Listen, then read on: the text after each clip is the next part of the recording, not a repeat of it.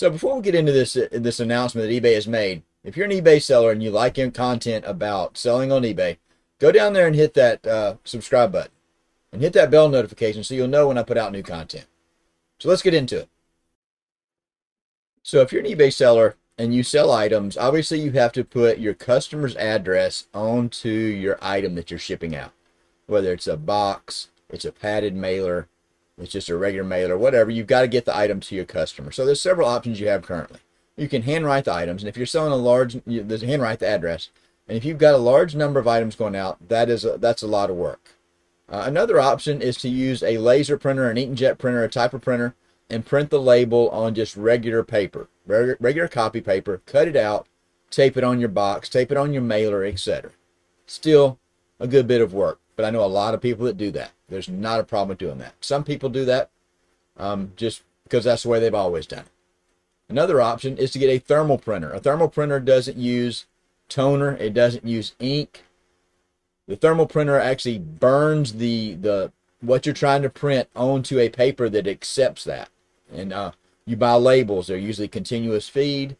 You can uh, you can print those out, pre-stick labels. You slap them on your uh, your package, your box, your bag, whatever you're shipping in, and you're done.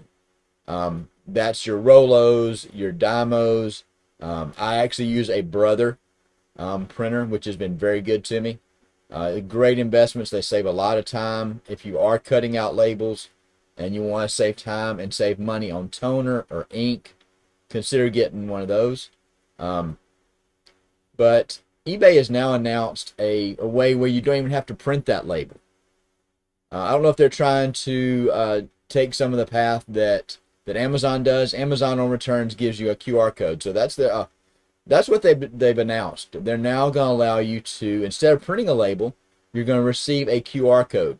No, this is not, I don't want to scare anybody. This is not for every item that you ship out. You have the ability to select this as an option. I know people that some people don't have printers. Some people are working only off their phones. I think this will help solve some problems for some smaller sellers.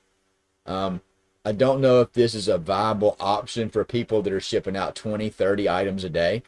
Um, but what happens is when you go in, you sell your item, you go in and just like you would print a normal uh, shipping label, if you're printing labels, you can go in and request a a QR code, just like you would a label. You see the QR code right there on that little uh, that phone screen there, and that a QR code is nothing more than a way for someone to scan it, and it takes you to a website.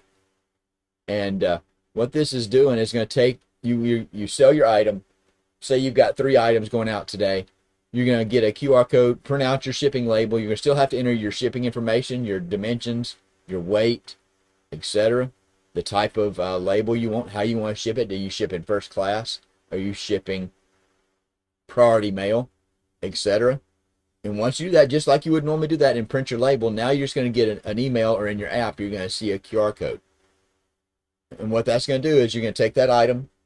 The easiest way to do it if you've got multiple items going out that day is to write a small note on the top of the box like a lot of people do that you see in videos. And you're going to take that to your carrier, whether that's USPS, FedEx, um, whoever, however you're shipping that, UPS. Um, and you're going to hand them the phone or hand the printout of that QR code. Show it to them. They're going to print out the label. They're going to slap it on the box for you. Um, I know this is the way that Amazon handles returns. If you've ever bought something from Amazon, um, and you've had to return it.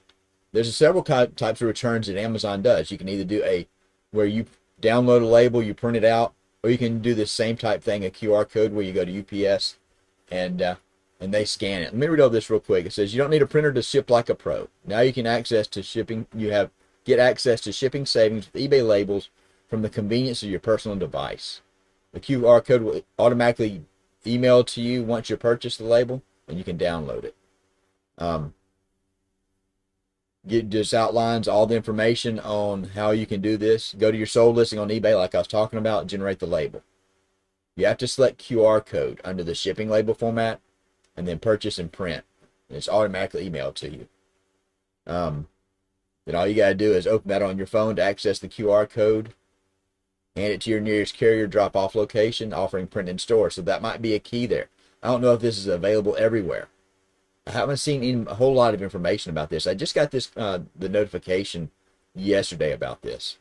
Um, so I, one thing I'll need to look into is is is this limited? Uh, is this service limited to certain locations?